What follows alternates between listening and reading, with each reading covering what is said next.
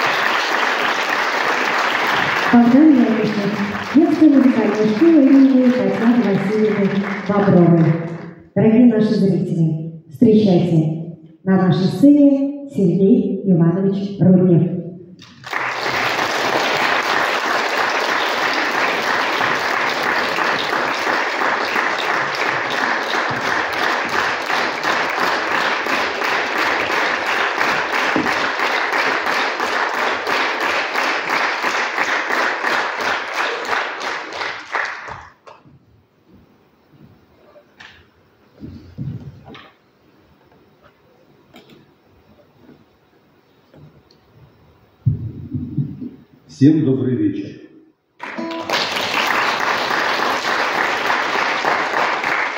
Сегодня у нас по жанру очень интересный концерт. Это будет мастер-класс с практическим показом. Вот, и поэтому вам будет даже интереснее. Поэтому будет несколько больше сказано о предыстории того, что буду играть. На самом деле самое интересное это как раз то, что побуждает творить. Ну, само определение русский стиль, я много раз спрашивал, Э, игры на каком-либо инструментах, он всегда подразумевает народные формы. Ведь не секрет, что любой, любой стиль любой страны, любого региона, он впитывает культурные традиции, конечно, народ, который там живет. В музыке это проявляется, в интонациях, в ладу, как вы знаете, много чего. Вот. В архитектуре, в определенных закрепленных исторических каких-то решений, которые, например, передаются у нас здесь, вы можете безошибочно определить итальянский стиль, там, от в таком просто, там есть нюансы в куртиках и так далее. В русской песне традиции, конечно, все непросто. И она именно песня. Упор делается не народные инструменты, на некоторых э, культурах там есть инструментальная такая традиция, а здесь именно песня. Ну, что объяснять? Песня для, для русского человека была все.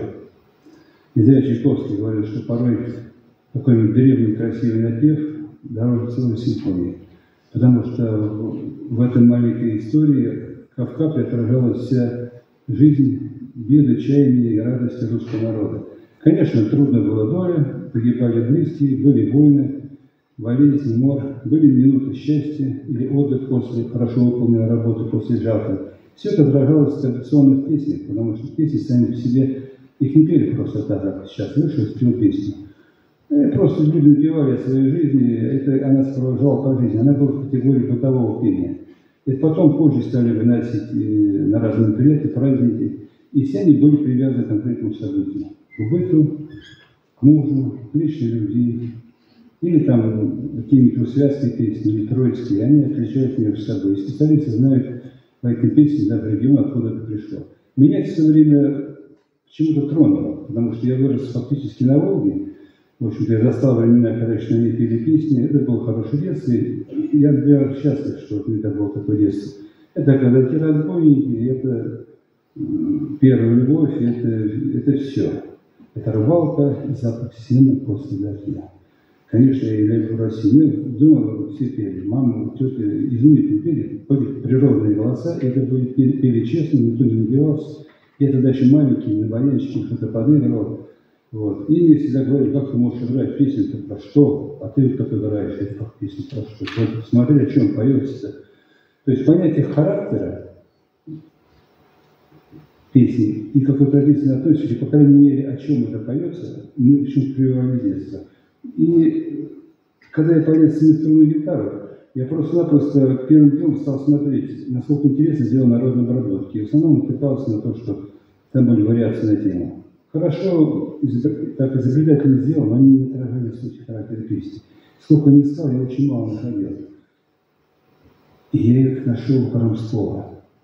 Как изумительно, с какой композиторской мысли, решением у него сделано, и какой месяц, там, это была отправная точка, я понял, что нужно делать именно вот так. Но песен было очень мало. Мне захотелось сделать более широко. Вот. Я начал творить, мне даже никто не бил по рукам, я говорил, что это нельзя делать. Так потихонечку, потихонечку я создавал то, что потом сам играл со сцены. Я не подозревал, что это буду играть другие. Поэтому свои приемы были, я не знал, что так нельзя. Вот. Оказалось много достаточно перспективы. Вот и все.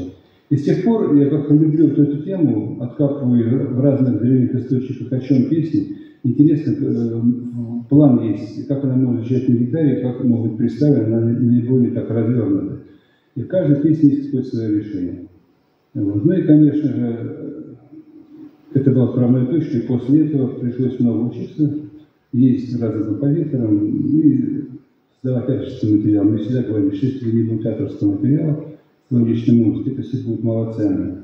Вот. И на самом деле мне гораздо больше чиней, чем он говорилось. Я пришел там и мюзиклы разные, и э, очень буду говорить, там много чего, потому что мой опыт аранжировщика, он всеядный. У меня 11 инструментов, 11, которых играют достаточно одинаково. Вот, и как мультиинструменталист, я все это в рамки инструмента, все это песни. Что сегодня на концерте будет? Я, я просто буду делиться своим творчеством. Просто что-то очередное есть. Все, все новое, что-то могу играть из того, что я играл раньше. У меня хорошо выученных заученных пьес, которые я с блеском сыграю.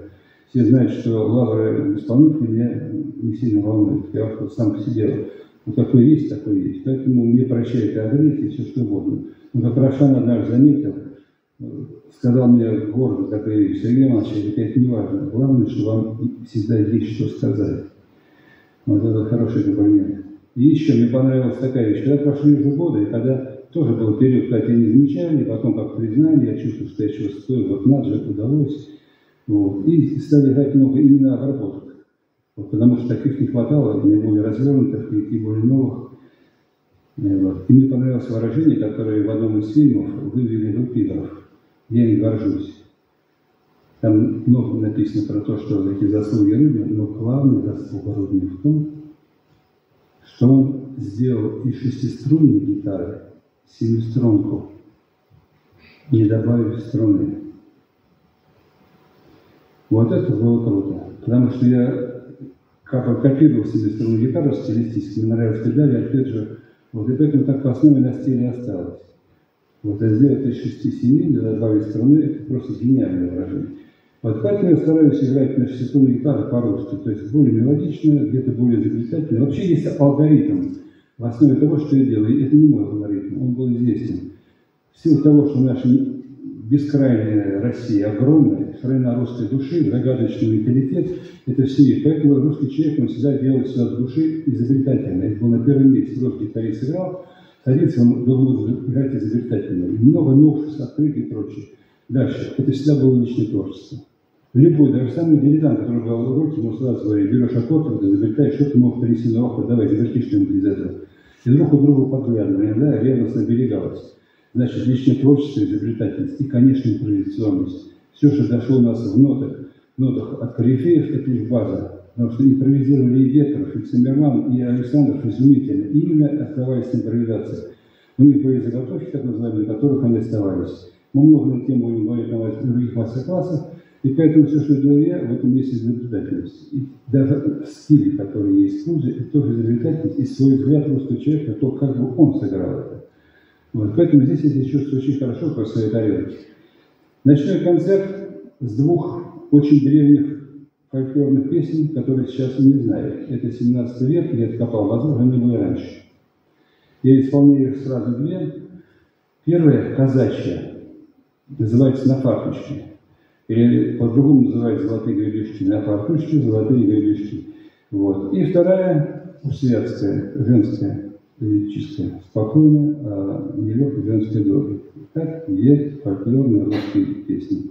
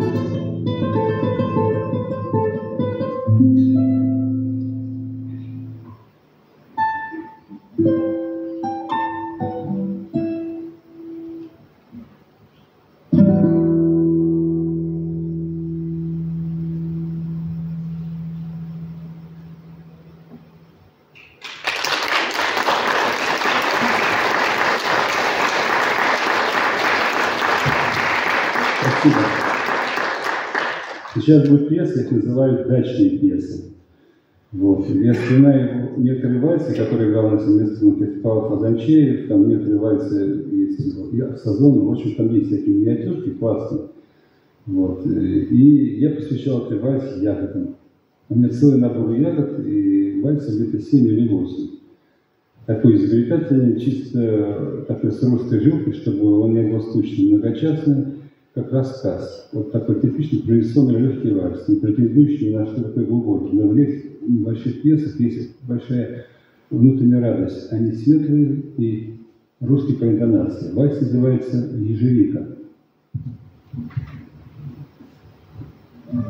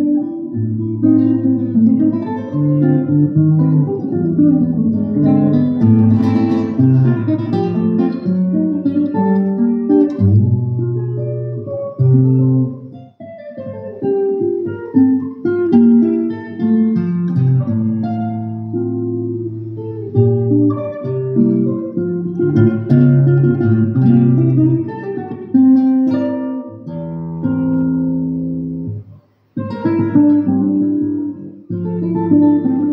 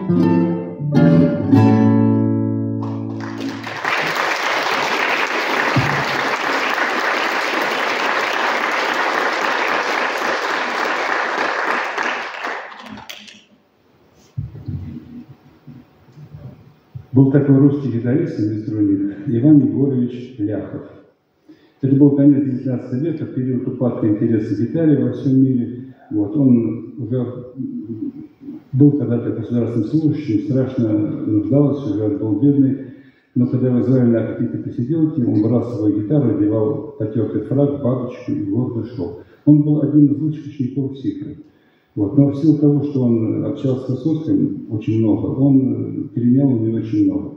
И поэтому его игра, как современники говорят, отличается мелодизмом и богатством импровизации. Ляхов мало оставил нам как композитор. Всего несколько пьес. Вот. Они не будут в дальнейшей работы опубликованы. Мне понравился один эпизод. Все семиструнники хорошие, они не играли просто пьес с начала до конца. Они брали инструмент и могли играть часами. Там было столько заготовок, арии, зеркало, они все смогли переворачивать, записать нужно было невозможно. Как играл, кстати, Высоцкий, он об этом сам писал. Поэтому это ценнейшее сведения о том, кто был Высоцкий. Потому что то, что с подачи Дебюка, который оформлял ему ноты, потом издавалось, это было жал, жалкое отражение его настоящего таланта.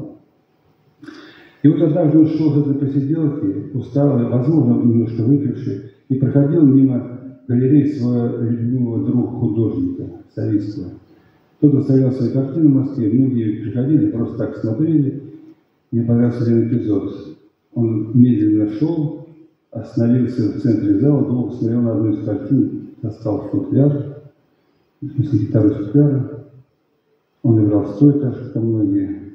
Долго смотрел на картину и стал наигрывать какие-то богатые аккорды, потом импровизации. И очень сильно увлекся. Собралась толпа. Егорович, Иван Егорович играет. Его не зовут по имени отчеству.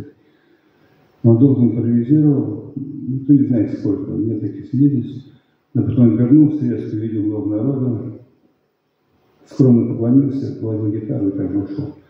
Мне понравилось само свойство импровизировать на любую тему. Они по-русски называют, что называется, выпендривать друг перед другом, кто это может лучше сделать. Хорошая черта, она чем-то э, общая с джазом, очень много периодной музыки, оборотов, которые погружаются в голову, потом ты этого творишь. Вот. И поэтому, когда я просматривал картины, мне нужно было при одних обстоятельствах, нужны картины Кандинского, Брегеля, там, Кинга Гордона, те, которые занимались поздним импрессионизмом, вообще Коровин, когда крупными мазками, там необыкновенное настроение передано. Вот я наткнулся на Говарда Кинга. В этом стиле рисовали многие. Этот художник рисовал только акварелью всю жизнь. Я никогда, никогда не подумал, что акварели можно написать такие тончайшие нюансы. В основном рисовал женщины, берегу моря, картины и прочее, чувство нравились молодежи.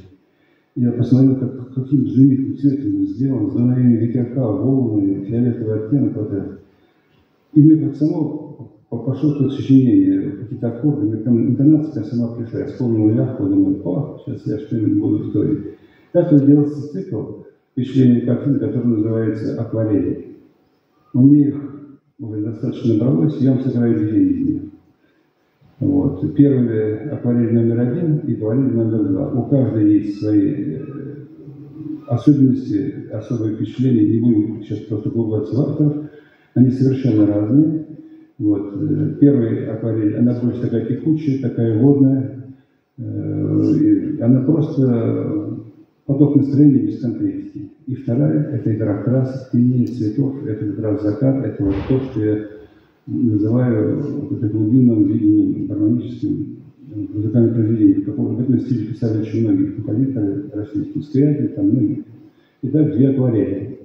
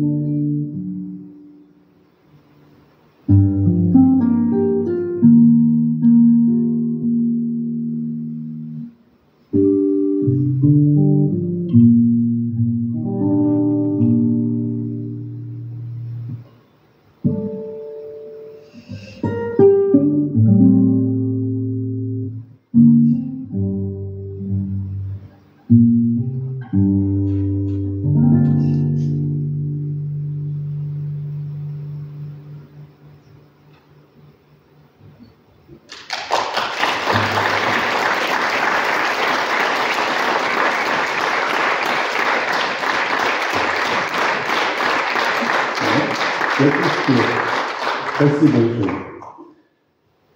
Главное, что когда этими вещами, вну- внутри такая радость, совершенно непоказная музыка, и, соответственно, он исполнит гораздо лучше. Одна из этих стихотворений, кстати, записана на Брайан Классик, нашим там, крупным гитаристом, не будем сейчас углубляться это, здорово играет. Сейчас будет необычное сочинение. Я много чего не записал в этой жизни, вот, только потому, что не знал, что так нельзя. Существует традиция некая э, русской песни, когда поется одна подпевочка в одном месте, а в другом где-нибудь на улице, там, не знаю, там, поется другая, третья. Потом иногда люди с собой встречаются. И это, они видоизменяются. Так образуются какие-то темы, которые как, как бесхожие, непонятно, кому они принадлежат. Вот. И есть просто интонация. Вот есть казачья интонация, которой, представьте, напевают казаки, и там медленно потом присядочку начинается потом казачий танец. Мне тронул сам, сам подход, это настолько необычно, даже для федералистов. Я сделал оригинальное сочинение на основе попевки, которое используется как раз и танец. То есть из-за того, что в конце разгоняется под аккомпанемент, на одной гитаре сыграть нельзя. Для меня это не было проблемой. Я нашел решение, как это сделал на одной гитаре. Вариации и аккомпанемент. Итак, это называется «Маленькая казачья рапсодия». русский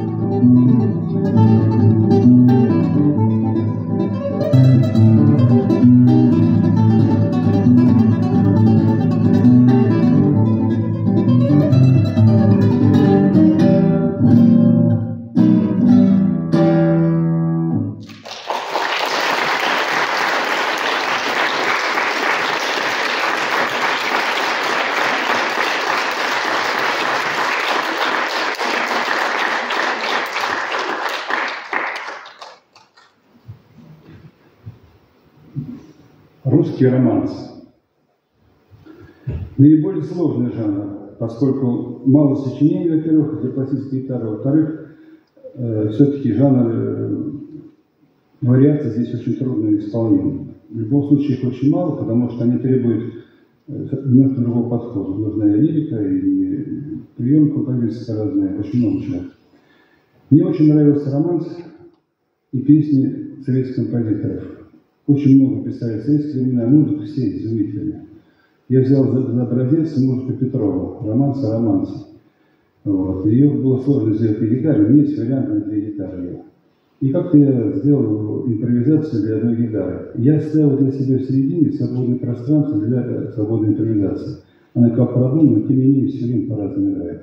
Мне нравится оставлять вот эту вот свободу. Вот как она получится. Романс, романсы. Музыка Петрова. Ну,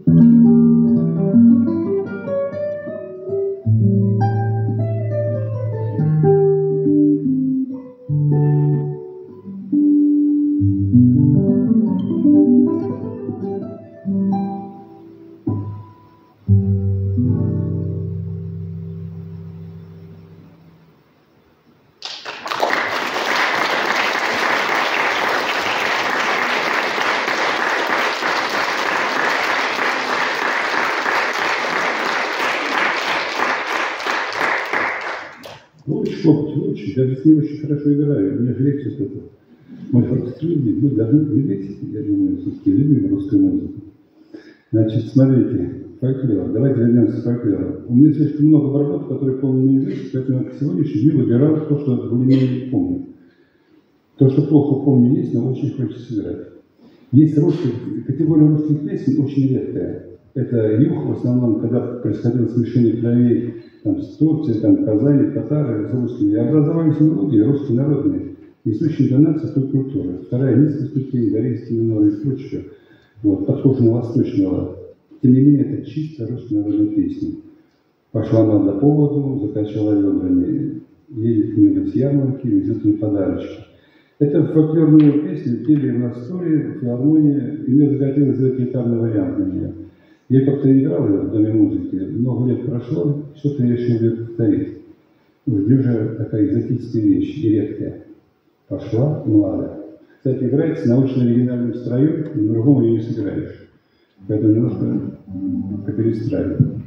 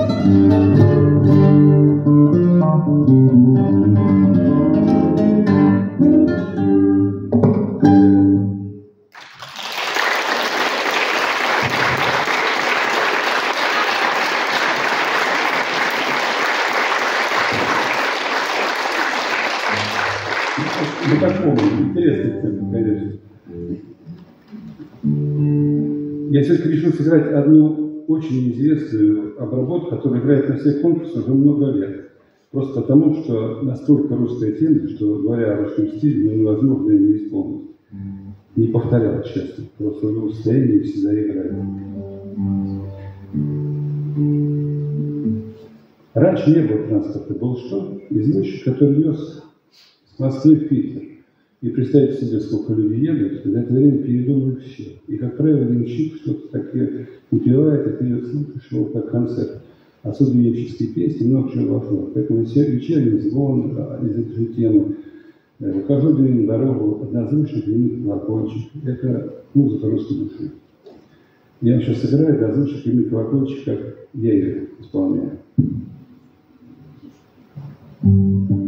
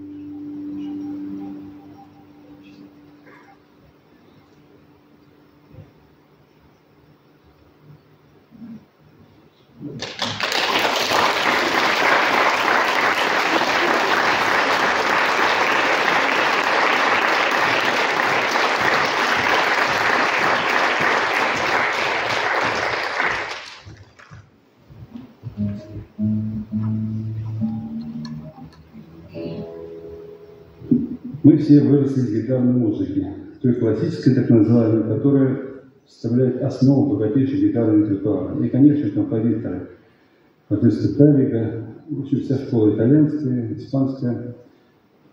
Конечно, эта музыка переиграна, вся проанализирована и очень нравится. А я считаю, что это золотой фонд, который останется на века. Некоторых песнях даже есть такие, я бы сказал, ну не русские, но очень родственные России интонации. Них снег не доставал, хотел что-то еще продолжить. Как я был в Австрии, это было лет 6-7 назад, я тогда увлекался, была возможность горными лыжами. И в одном из кафе, когда я по-английски пытался объяснить, что мне надо, я вдруг услышал речь. Да ладно, по-русски говори. Это ответил официант, был поражен. Там работал русский много лет, вот, очень любил Россию и зарабатывал там свои денежки. Вот. И подошла такая женщина, такая словоохотливая, и которая говорит, я изучаю русский язык, а на русском стал со мной разговаривать. Она была похожа на какую-то ирландку. Вот, она такая вся описка была, и фартук был такой русский. Тогда еще не было вот этой всей ерунды межэтнической, все было хорошо. Я вижу образ в образе, вот так вижу человека в человеке. И так родилось у меня сочинение. Вот. Оно называется «Альпийская мазурка». Я за основу взял стиль Таллини, у меня есть стилизация. Я некоторые пьесы пишу в каком стиле, допустим, композиции, но они мало интересны, потому что они повторяют мысли композитора. Здесь я решил сделать э, как бы альпийскую музыку с русской душой. Итак, альпийская мазурка. И вторая пьеса, наша стилизация. Гитаристы знают, что мы в советские времена особенно не имели много информации, как сейчас. Вот, ну, издавались вальсы Лаура. Там всего там пять переводских вальсов, шесть потом стало переводских вальсов. Изумительно по своей простоте и красоте. Их все переиграл, за этим виделась мечта, другой мир, солнце, там, пальма. Не хватало вальсов. Я тогда, спустя, ну, давно, там, лет 10 назад, мне пришло в голову мысль, воспоминание детства, как я раньше играл, и думаю, а дай-ка сделаю вальс Лаура номер 7, который не существует. И не советский вальс. Вот. И была даже сделана такая афера. Были набраны ноты, э, стилизованы под другого композитора, даже размещены в интернете. И до меня стали доходить слушать, какая изумительная музыка, почему не знали Лаура. Лаура. Поэтому пришлось рассказать правду. Вот. И эта музыка возникла благодаря тому, э, любви э, к России и смешению музыкальных жанров. Итак, играю две пьесы. Первая называется «Альпийский мазурка», посвящение Таллиге. И вторая Венесуэльской власть номер 7, которая не существует, Антонио Лавру посвящение. Thank you.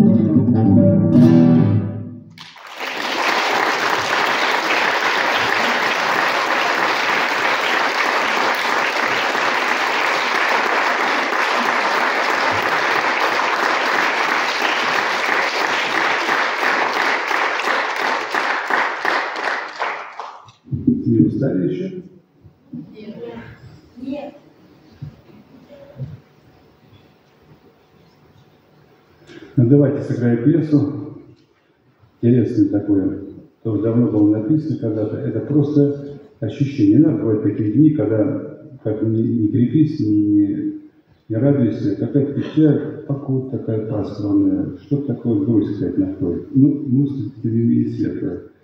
Вот. Называется грезы. Thank you.